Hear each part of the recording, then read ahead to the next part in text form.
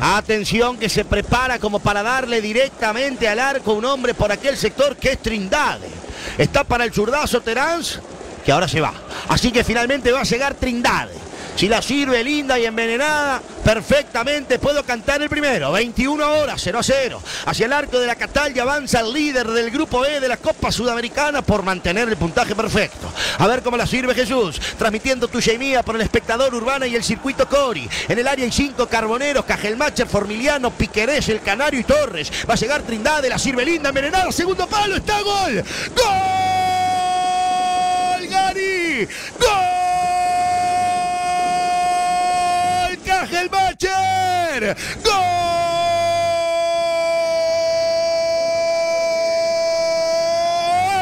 Peñarol, Gary Christopher Cajelbacher. Levanta Trindade desde la izquierda con pierna derecha. Un centro precioso, perfecto y preciso. Falla el fondo paraguayo y aparece Gary por el segundo palo al ladito de Ascona. Solo tuvo que empujarla.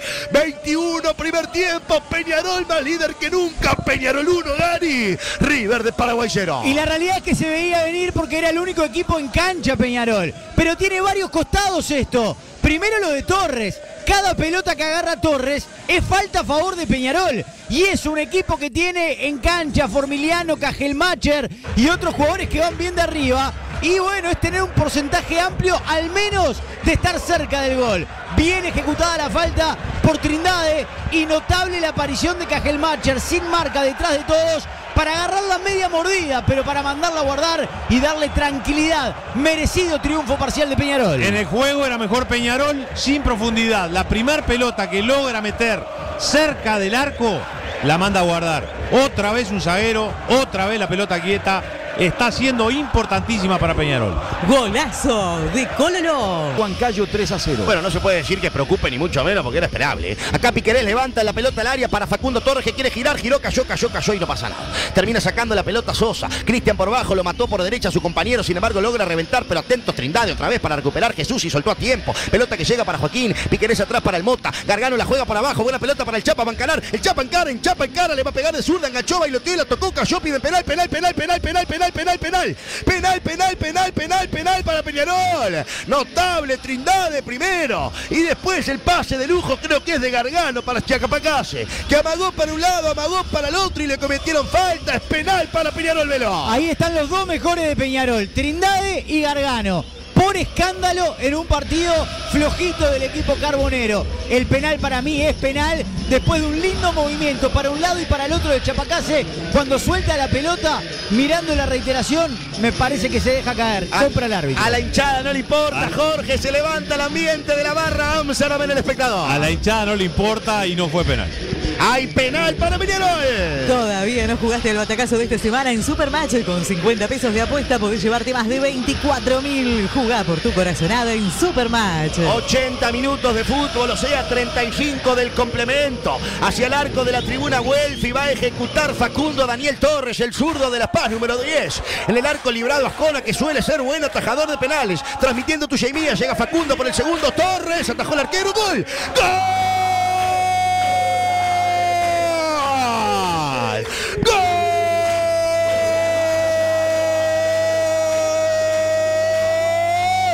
Peñarol, Facundo Torres de penal.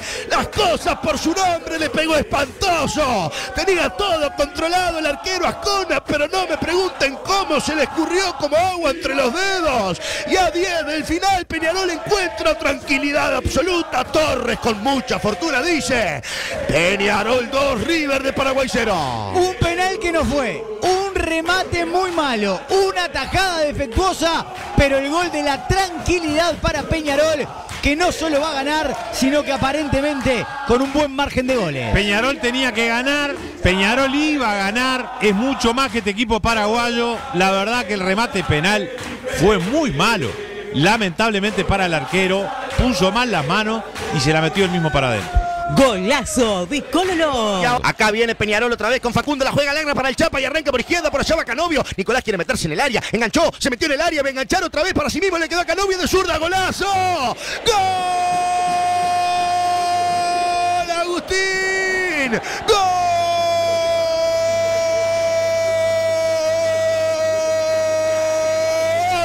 Peñarol, Canovio. La jugada arranca en campo propio para Peñarol. Torres por izquierda pone gran balón para el Chapa que entró muy bien. El Chapa casi se metió en el área y luego para mí la quiso hacer para sí mismo.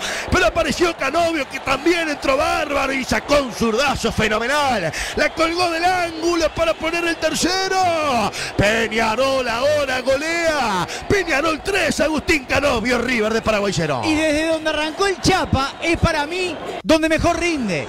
Pegado contra la izquierda, desde ahí arrancando, para él mismo generarse el juego hacia adentro del área. La hizo muy bien, entró bien en el partido, termina siendo desequilibrante en el tanteador porque participa directamente de dos de los tres goles del equipo de la Riera. Una jugada que en la última gambeta se le va larga, pero los tres marcadores de Paraguay se fueron con el Chapacase. Apareció solo Canovio, le pegó sin dudar y le mandó a guardar. 3 a 0 para Peñarol. Ya a esta altura, ¿cómo rindió? Ya no importa. Y yo venía diciendo en el comentario anterior, ¿no? Que para mí era correcto, este tipo de jugadas hacen que la visual final termine siendo todavía más que correcto el partido. Individualmente muy bien el Chapacase, notable Canovio como le pegó de zurda. Golazo de Cololo.